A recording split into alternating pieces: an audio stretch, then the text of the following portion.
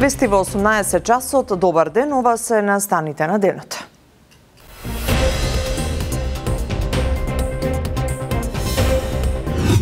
Нема причини да се лоцира политичка или менеджерска одговорност кај министерот доктор Венко Филипче. Заев не ги прифати оставките на првите луѓе на здравство. Извештајот на МВР открива краток спој во кабел од дефибрилатор, причина за тетовската трагедија. Бајден бара проширувањето на Унијата да ја опфати и Македонија. Заев и Радев утре намаса со двоецот Меркел Макрон. Мицкоски тврди, Две земји членки на Европската Унија не даваат краен рок за интегрирање на земјите од Западен Балкан.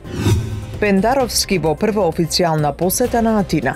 Потврдена поддршката од Мицотакис за европерспективата на Македонија. Алармот за драстичен раст на цените на храната за владата е претеран. Бислимовски не гледа основа за поскапување на струјата. Државата од следната година ќе ги покрива придонесите за нововработените млади лица.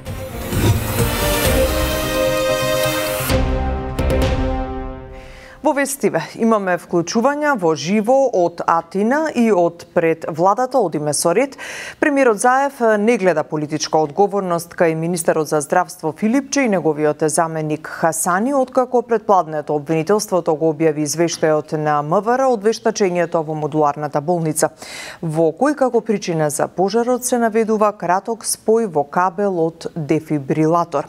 Мирјана Мирчевска Јовановиќ пред владата, Мими, на што премиерот кажа за оваа одлука? Така, Тања, министерот за здравство Венко Филипче и неговиот заменик министер Илир Хасани остануваат на своите позиции во Министерството за здравство, она што според премиерот Заев го кажа на вонредната пресконференција денеска е дека тој не гледа ниту политичка, ниту менаџерска одговорност кај министерот и заменик министерот за здравство. Тој вели дека сепак треба за идна одговорност да се раз до крај целата истрага, а исто така ќе го чека и извештајот на германските истражители кои беа овдека во Македонија. Тој за извештајот рече дека го прочитал од медиумите и дека не го добил директно од обвинителството. Накратко објасни дека не сака да навлегува а, во истрагата и за краткиот спој, тоа ќе го во болницата која била причина за пожарот, бидејќи тоа требало да го истражат и објаснат истражните органи. Да ја слушаме неговата изјава. Пожарот настанал како последица од електрична куса врска во приклучен кабел. Врз основа на овие и на предходно добиените информации, сакам да ја известам јавност. Нема причини да се лоцира политичка или менеджерска одговорност кај министерот доктор Венко Филипче и заменик министерот за здравство доктор Илир Хасани, кој подсетувам од морални причини поднесува оставки кои чекаа на мојата одлука. За евентуалните грешки, причините е човечки фактор, ќе се произнесат надлежните органи. Останувам на ставот дека нема да дозволам политизирање на трагедијата во Тетовската болница. Ние политичарите и извршната власт генерално не смееме и нема да го толкуваме извештајот на вештите лица кои постапуваат по наредба на јавното обвинителство. Мими, доцна поплатнево со реакција се огласија и од ВМРО ДПМН, што велат од опозицијската партија? Од опозицијската ВМРО ДПМН Тања објаснува дека ова е скандалозна одлука на ДУИ на СДСМ и дека во овој случај кога починаа 14 луѓе, воопшто се нема никаква морална одговорност спрема починатите и нивните семејства. Да ја слушнем изјавата и од ВМРО ДПМН. Наместо пристојност и етика, СДСМ и ДУИ решија да ја спасуваат коалицијата. 14 луѓе живи, живи изгореа во пластичниот киоск на Зоран Заев и Венко Филипче.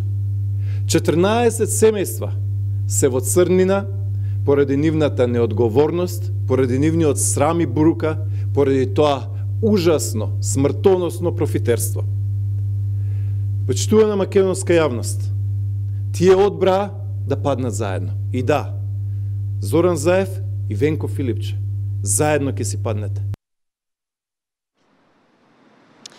Двете изјави на премиерот Зоран Заев и од опозицијската ВМРО ДПМН на Ѓурчев доаѓаат откако денеска обвинителство го објави извештајот за трагедијата која се случи на 8 септември во Тетово. Да слушаме за детали од извештајот на од прилогот на колегата Михајло Видимлиски.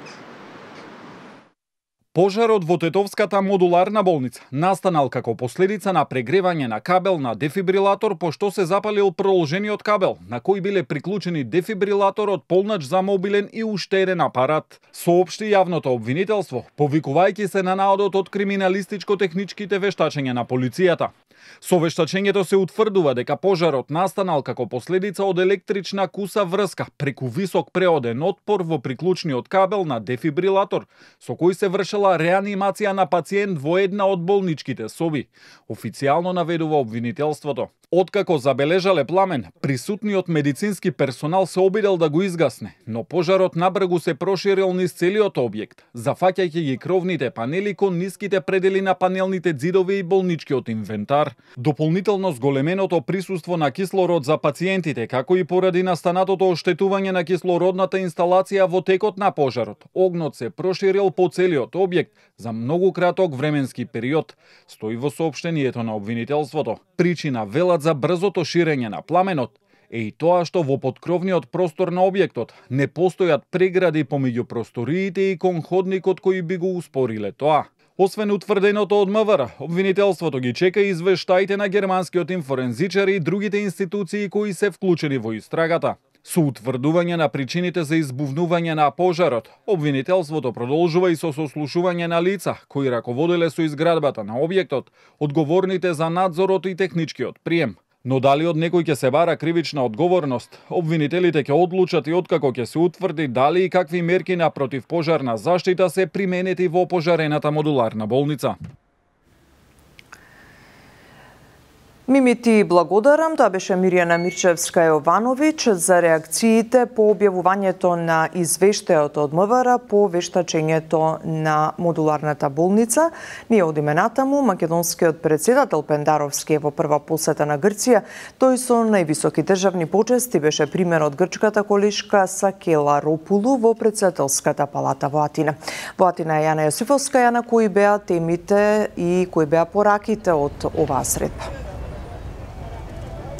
Тања јасна и недвосмислена поддршка од грчкиот државен врв за македонските евроинтеграции. Председателот Пендаровски денеска преку целиот ден оствари средби со челниците. Започна со грчката председателка, неговата колешка. Беше пречекан на официјална церемонија со интонирање на државни химни и со воени почести пред председателската палата, при што оствари тета тет со неговата грчка колешка.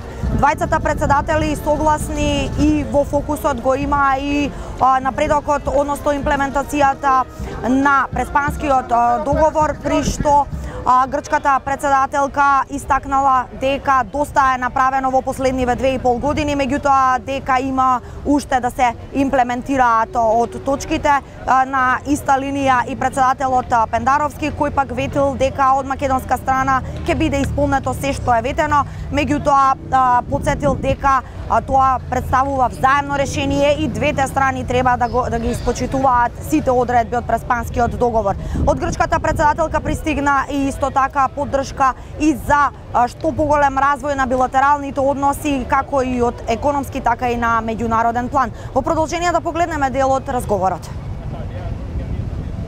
Ιδιαίτερη χαρά σας καλωσορίζω στην Αθήνα κύριε Πρόεδρε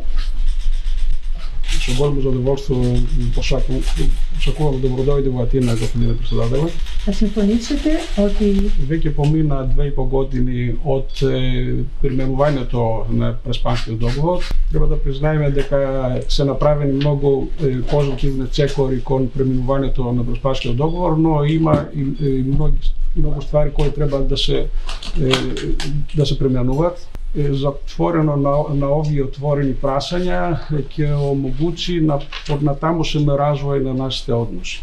Господиот председател, ви благодарам за гостопримството. Илија Брадес, се ферштегат Белучемија. Јас како човек обично не сум склон кон политичка патетика, меѓутоа морам да кажам дека ова наша посета, ова наша средба има секако историски димензии. Се согласувам со вашата квалификација дека многу работи се направени во тие две и пол години во имплементација на тој договор. Јас би рекол најголемиот и најтешкиот дел од тој договор се имплементирани. Се разбира има уште неколку работи кои треба да се завршат и како што реков ние имаме апсолутно јасна политичка волја и намера да го завршиме тој договор до последната буква што се рече.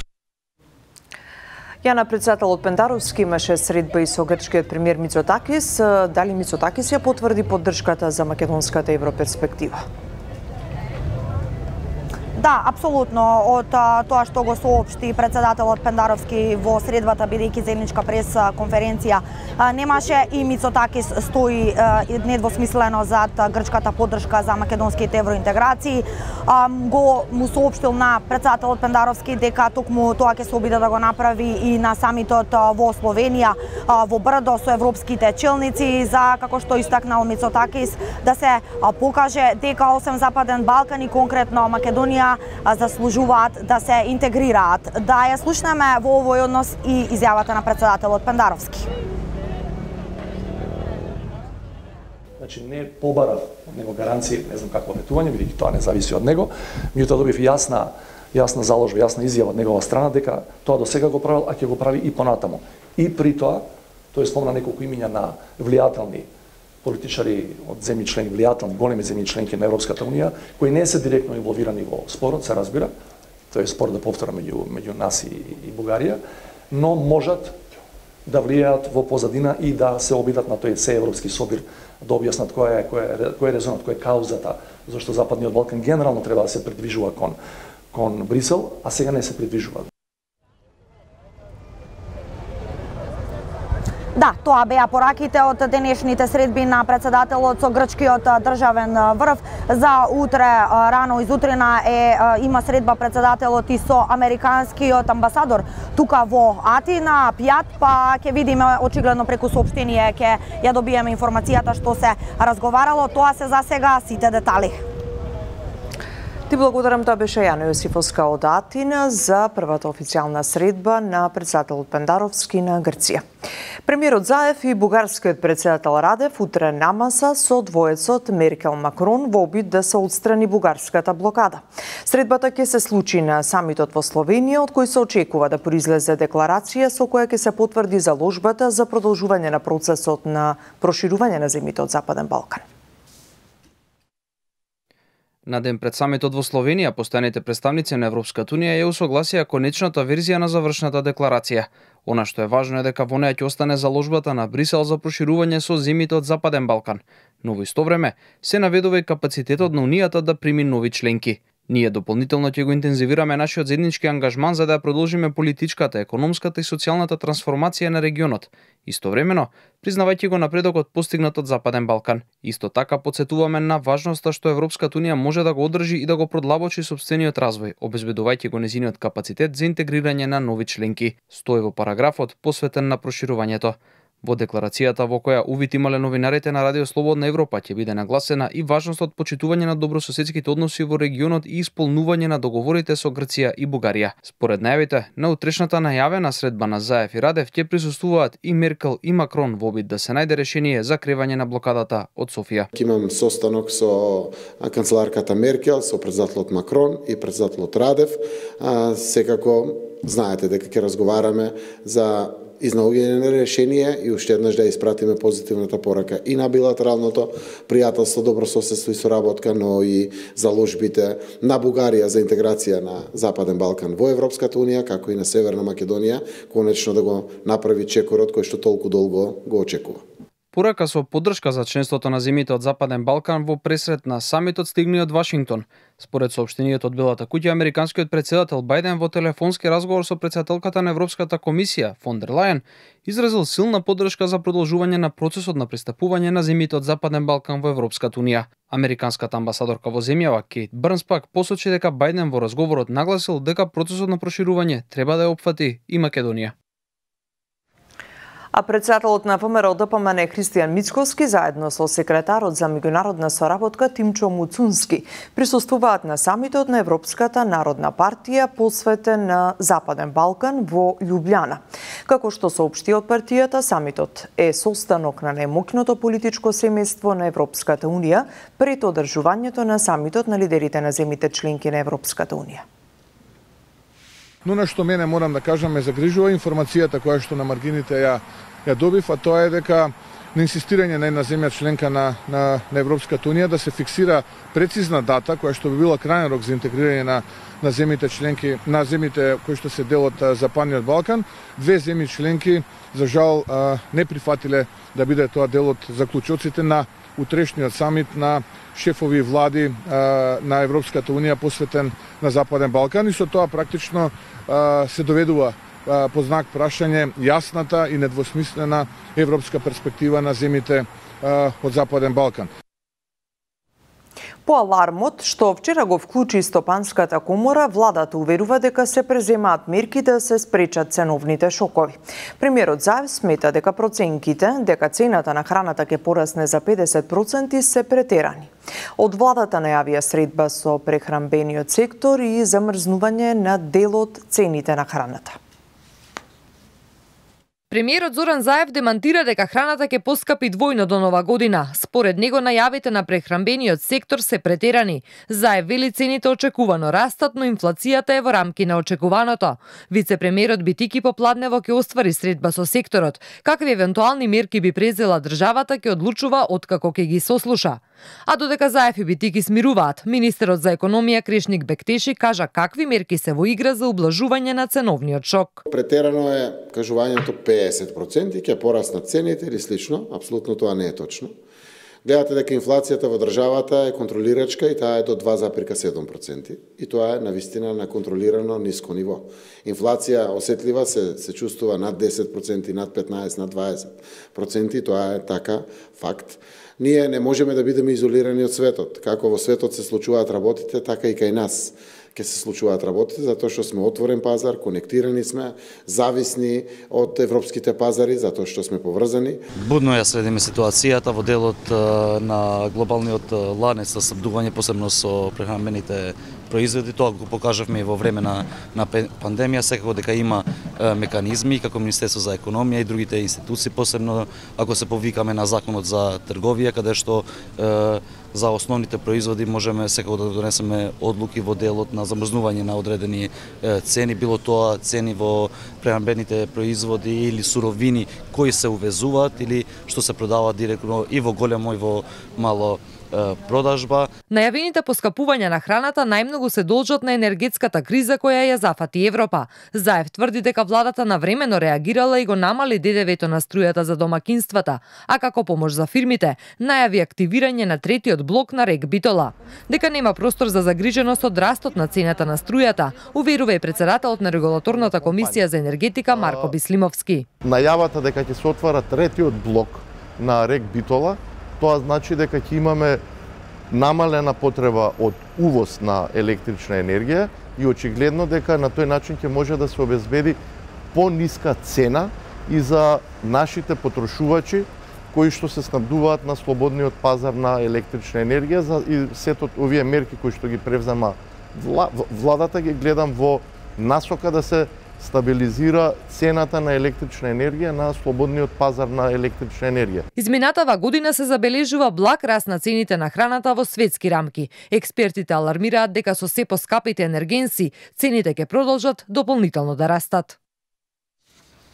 Премиерот Заев најави дека од следната година државата ќе ги покрива придонесите за нововработените млади лица, со цел да го стимулира младиот човек да отвори собствен бизнис развивме механизми и модели преку комерцијалните банки, дури и собствениот дел да биде најден како начин и модел да биде решение за секој оној кој што има своја иновативна идеја да ја преточи во проект, во погон, во фабрика, во производство, во услуги, во сето тоа што намерачил да, да, да работи. Наша конечна цела е младите да бидат мотивирани, да отварат своји бизниси овде и тоа тргна како процес. Јас верувам дека Северна Македонија ќе биде одличен пример во регионот, во стартап можностите и во иновативниот и технолошкиот севкупен развој на државата. За останатите млади, гледате дека имаме огромна побарувачка на квалификувани кадри од приватниот сектор.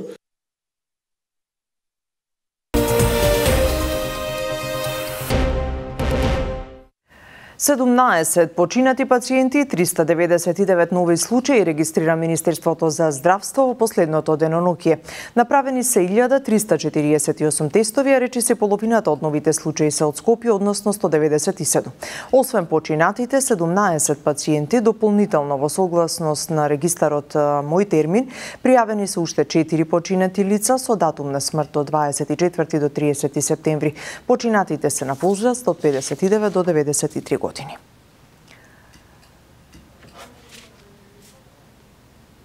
Родителите мака мачат да ги препознаат и раздвојат симптомите на COVID-19 од оние на есенските вироци. Вака деновиве звучи детската болница Козле.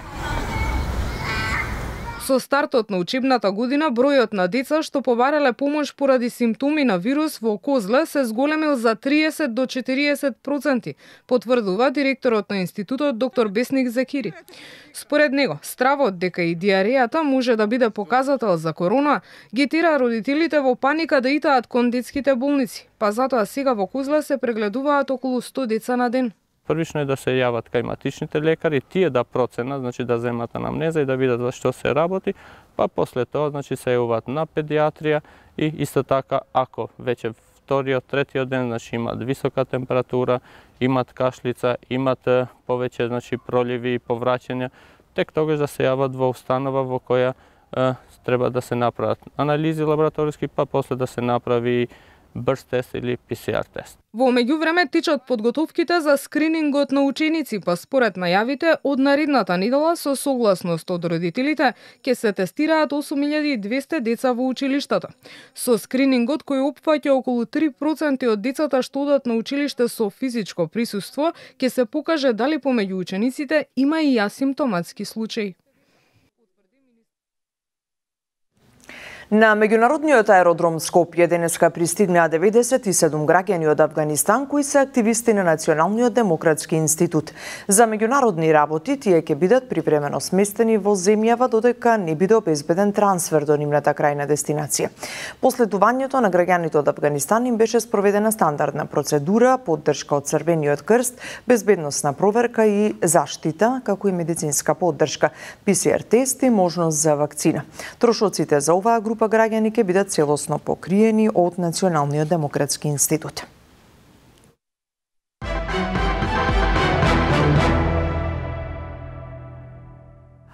Партиите интензивно ја продолжуваат изборната кампања.